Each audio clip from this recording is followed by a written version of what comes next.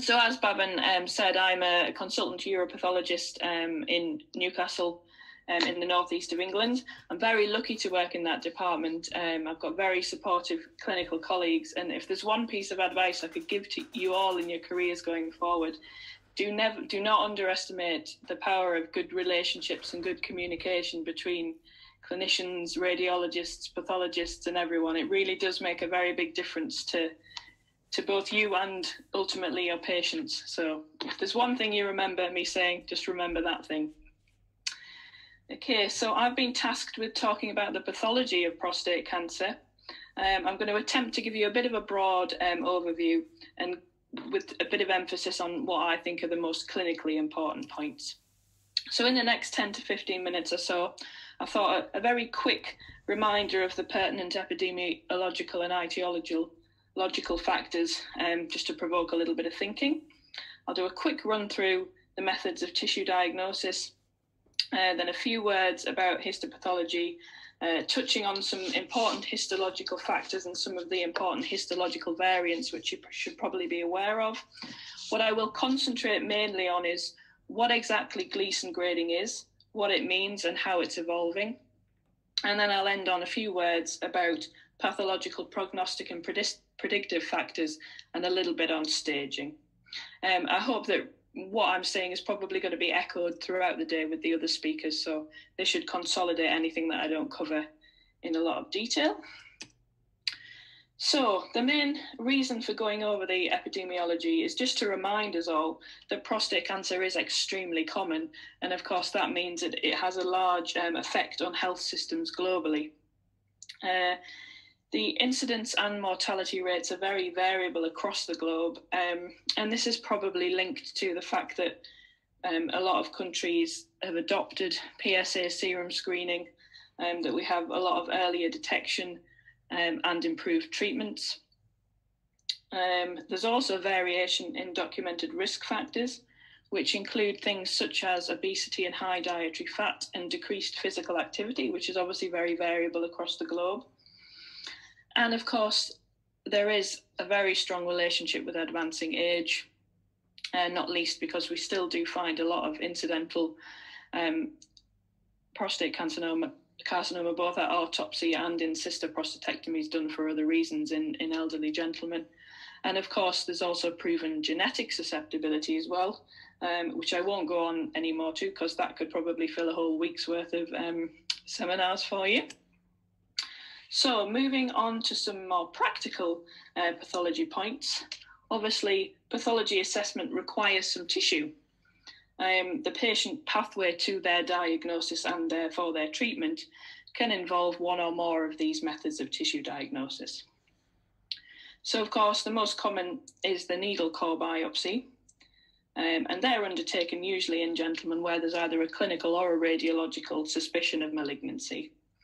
Um, one of my colleagues is probably going to very eloquently talk about the different types of needle core biopsies later on, um, so I won't um, dwell on that for, for any longer.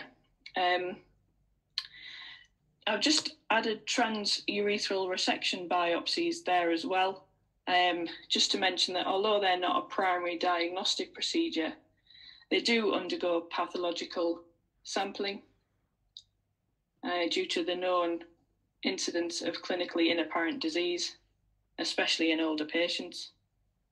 And then, of course, radical prostatectomies, which provide a final diagnosis, grade, and stage, and stratify the patient prognosis and guide any subsequent uh, treatment and follow up. Okay, again, I don't want to dwell too much on the ins and outs of actual um, histopathology because uh, I'm the pathologist. I don't want you to teach you to do that, otherwise, I'll be out of a job. Um, but I just did want to mention um, that when we get um, needle core biopsies from prostates, we examine them all. Um, we examine all the tissue that's submitted, and we also examine it at several different um, levels of tissue, and that's because of the nature of um, prostate sampling. Although there obviously is a move to more targeted sampling, which I'm sure will be talked about later by, by my radiology and clinical colleagues, the, the sampling of prostates is still that. It is sampling. We're not targeting a definite lesion that we can definitely see.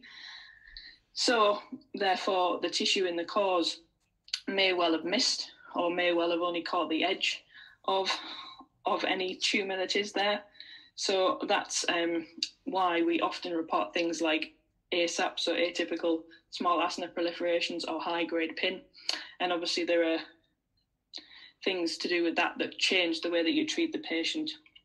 Again, um, similarly with radical prostatectomies, um, the prostate cancer is often, even when we slice a prostate, we still can't see it. Um, it's not grossly recognizable. Therefore, we need to look at all of the tissue. We embed all the tissue from radical prostates. So it's it's not a, a small amount of workload. We look at a lot of prostates. Um, it's a uh, yes, takes up a lot of my time, but I of course love it. Um, I just wanted to share this quote that I actually read quite recently. Um, I'll let you read it yourself. Um, it's from the World Health Organization classification of tumours, and I think it, it very nicely explains quite a fundamental concept of histopathology, um, and that it, it, that's to say it's very much an opinion, albeit an educated one. Um, and I, I guess the point I'm trying to make is that although we are classed as a laboratory specialty, it's perhaps better to think of us more like your radiology colleagues um, other than than your blood science colleagues, because what we're giving you is an opinion um, as opposed to um, an, an, absolute answer. Um, just something to bear in mind. Obviously, we use that morphological expertise along with things such as immunohistochemistry and consensus opinions between all of us to reach what we hope is a diagnostic accurate conclusion for you and the patient. So this is what I really wanted to concentrate on, um, Gleason grading. Um, so Gleason prostate cancer grading system is used worldwide. It was first developed in the 1960s by Dr. Donald Gleason, and it differs to grading in other types of cancers, um, mainly because it's one, it's based solely on the architectural pattern of the tumour that we see down the microscope. And secondly, and, and probably most different to other other cancer sites is that we express it in quite an interesting way. So we express the degree of differentiation of prostate cancer as a sum score of the two most common morphological patterns that we're seeing down down the microscope. Uh, that being said, it's still essentially just giving you a quantification to the degree of glandular differentiation in the tumour, um, with one being the most differentiated and five being the least um, differentiated. Um, I should point out at this point that one and the groups one and two from Gleason's original work are pretty much obsolete in di- in, in um, modern diagnostic terms. I wasn't going to dwell too much on talking about tertiary grades because it's a little bit confusing for us, um, and I think the simplest thing is to just just think about the the Gleason grading as the two most common grade patterns present. Okay, so we still use the uh, same basic histology patterns that Dr. Gleason described back in the 1960s um, to assign our morphological grades. However, the International Society of Urological Pathologists has modernized and revised this a few times. Um, most recently, in 2005, there was a change of some of the um, groups from three up to four. So, some of your gentleman that used to be a three plus three may become a three plus four. Um, and then, perhaps more importantly, in 2014, there was the introduction of the prognostic grade groups. Um, and, and the, this is another important point. Um, the grade groups were introduced for a variety of reasons. Um, the main reasons were for clinicians, and that was to simplify the risk stratification and the categorization groups into five rather than the traditional 12 different groups that the, the sum scores would produce.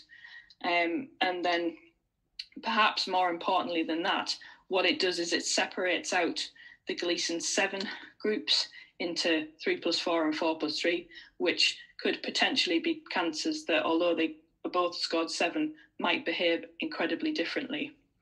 And then also, perhaps even more importantly for that, um, the grade groups were also designed for the patients themselves. Um, as a, a, communication tool.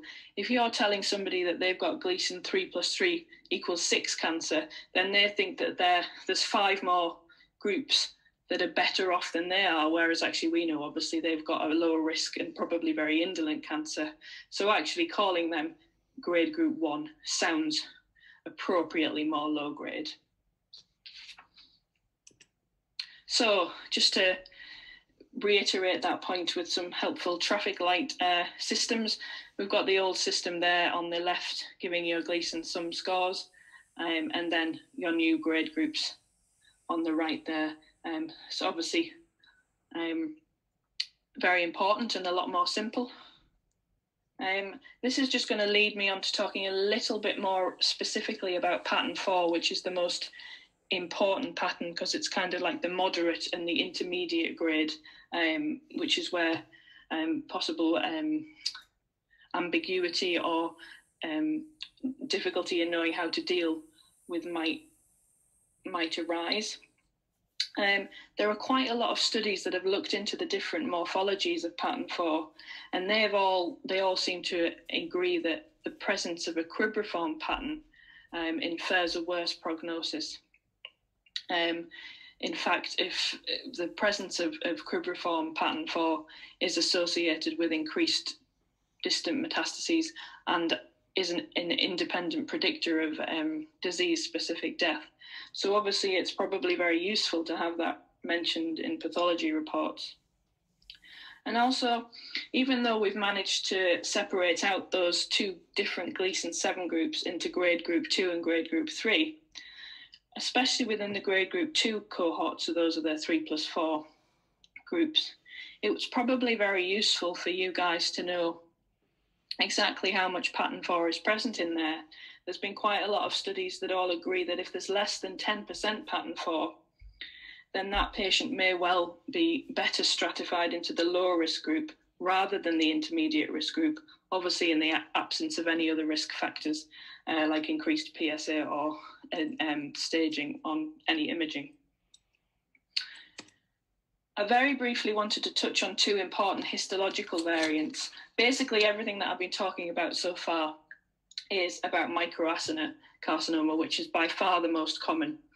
Um, but there are two types that are worth mentioning, and those are intraductal adenocarcinoma, which, although rare, um, is a very important um, and significant finding to share with you.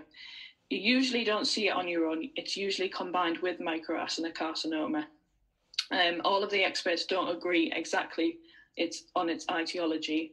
Um, the preferred theory is that what it actually represents is high grade microacinar carcinoma that's managed to retrograde, spread, and grow back along native ducts. Therefore, it looks like it's an in situ, where actually it's invasive that's growing back.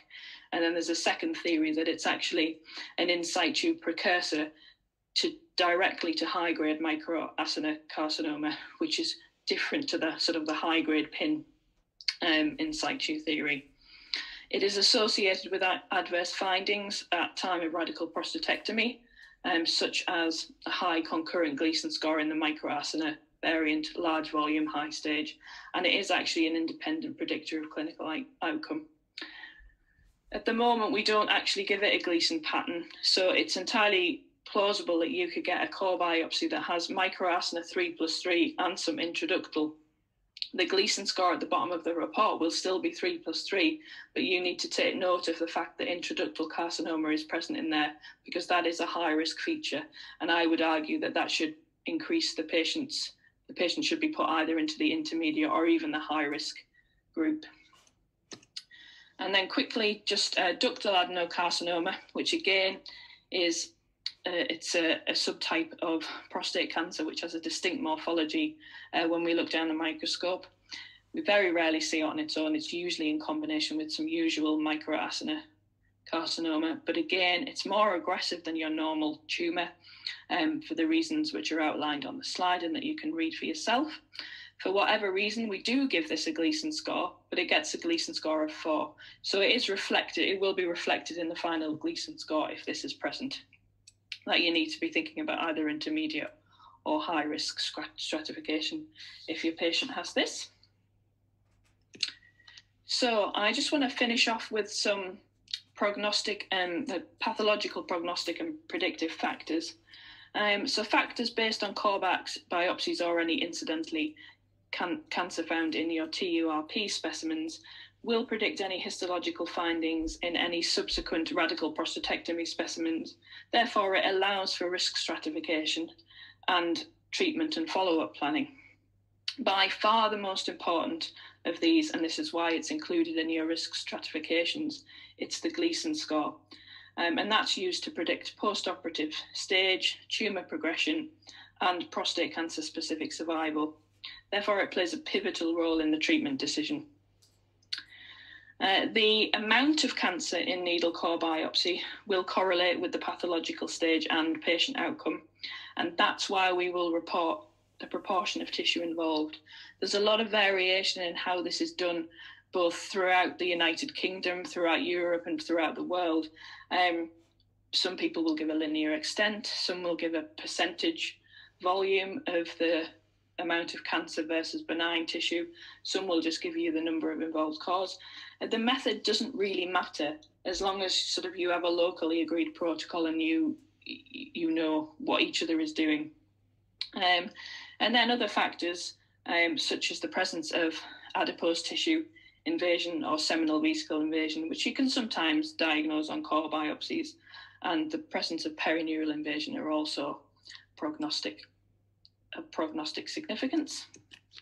Um, for completement, um, sorry, completeness, here's a list of the pathological factors which are of significance when we assess radical prostatectomies. Again, good old Gleason grade is the most useful prognosticator, followed by pathological stage. It's well documented that uh, spread beyond the boundary of the gland is associated with a higher rate of recurrence. Um, there's debate about whether quantifying the amount of extraprostatic spread is of enough significance to predict rate of recurrence, but we will report it. Then surgical margin status, which I won't talk about too much because I don't want to upset anyone. Um, it is a predictor of biochemical recurrence following radical prostatectomy. And again, reporting the extent of a positive surgical margin is linked to outcome, so we will report that as well. Tumour size, Again, like the amount of cancer in cores, this is very variably assessed and reported by pathologists, but it is of prognostic significance. So we will try and give you an idea of how what proportion of the prostate is involved by disease. And finally, perineural and lymphovascular invasion. They have less established evidence, but they're still reported. Um, I'm not sure if anybody else um, throughout the day we'll talk about the, the staging, but just a, a, final slide, if you will, to remind you of the pathological TNM staging. In the UK, we use the UICC 8th edition, but obviously there's the AJCC, which may well be used um, elsewhere.